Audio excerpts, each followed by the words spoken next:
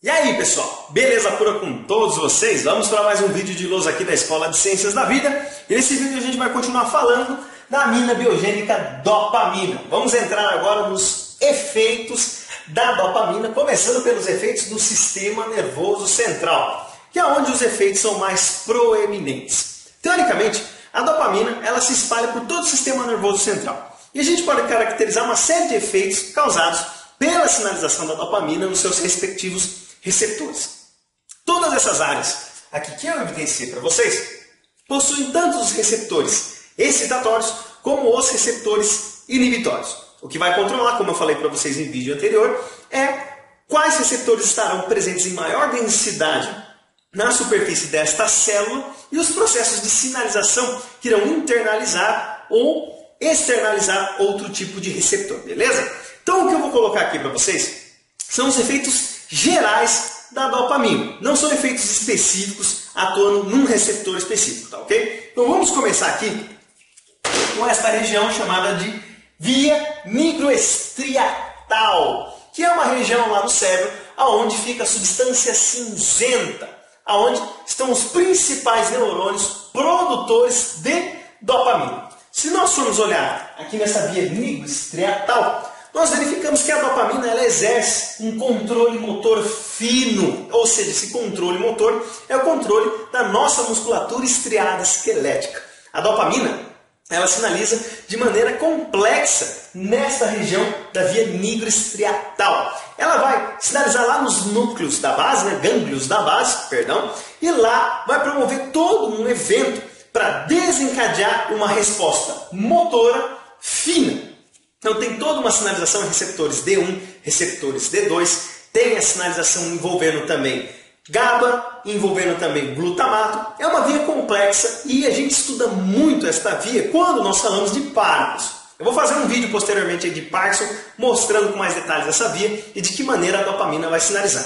Mas basicamente, ela tem uma resposta complexa para promover o controle motor. A resposta final vai ser lá no córtex e do córtex para o músculo estriado esquelético.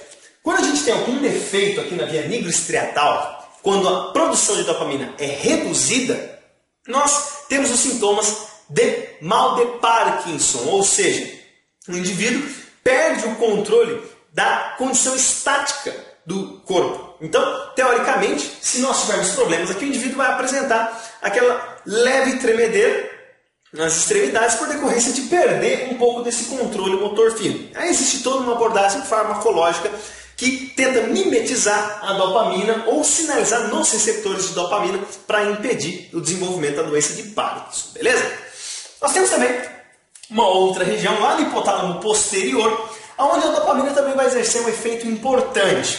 Alguns estudos mostraram que lá no hipotálamo posterior, a presença da dopamina vai desenvolver um processo denominado de síndrome das pernas inquietas. Não sei se vocês já repararam pessoas que quando elas estão sentadas, as pernas ficam se movimentando. É um movimento voluntário, porém um movimento contínuo. A pessoa sente a necessidade de movimentar a perna.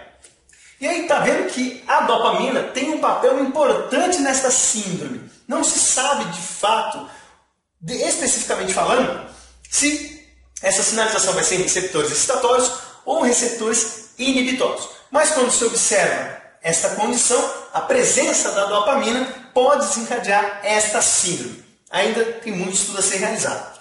Na via mesolímbica, que é a via onde vai controlar as satisfações do indivíduo lá no cérebro, né? Ah, na via mesolímbica, a sinalização de dopamina é extremamente complexa. Ela vai estar envolvida com outros neurotransmissores, principalmente a serotonina, para desencadear estes eventos, como por exemplo a cognição, motivação e prazer. A cognição é a capacidade de raciocínio do indivíduo, de aprender alguma coisa. Motivação é a vontade em realizar alguma coisa. E o prazer é a satisfação de realizar alguma coisa, a sensação de bem-estar frente a um determinado estímulo. E existe também os receptores excitatórios e receptores inibitórios da dopamina nesta região que vão controlar especificamente esses conceitos aqui, na verdade, estes eventos. Quando nós temos algum problema na via mesolímbica, geralmente a falta de dopamina ou excesso de dopamina nesta região pode causar dois eventos. O excesso pode desenvolver quadros de esquizofrenia e a falta de dopamina pode desenvolver quadros de depressão. É uma etiologia realmente, relativamente complexa, a gente precisa estudar com mais calma. Mas via de regra, a dopamina ela vai ter esta resposta na via mesolímbica, controlando aspectos comportamentais do indivíduo, cognição, motivação e prazer. Beleza, pessoal?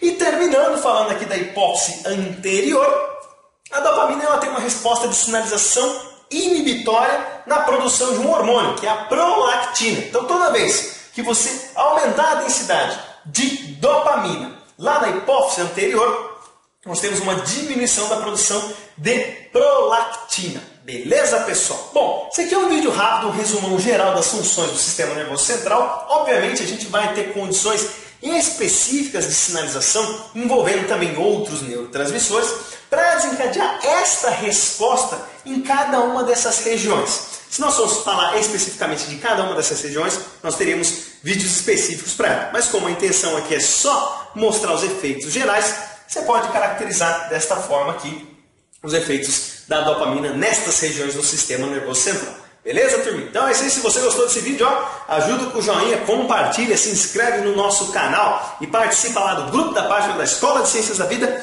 no Facebook. Também não esquece de se inscrever no canal dos nossos parceiros, o professor Rogério Gozzi, o Diego Barros do Medicina Resumida e o Caio Max lá no canal de Biociências. E também participar lá da página deles no Facebook. Como sempre, todas as informações estão aqui no descritivo desse vídeo. Beleza, pessoal? Então é isso aí. Forte abraço a todos, fiquem com Deus e até os próximos vídeos, se Deus quiser.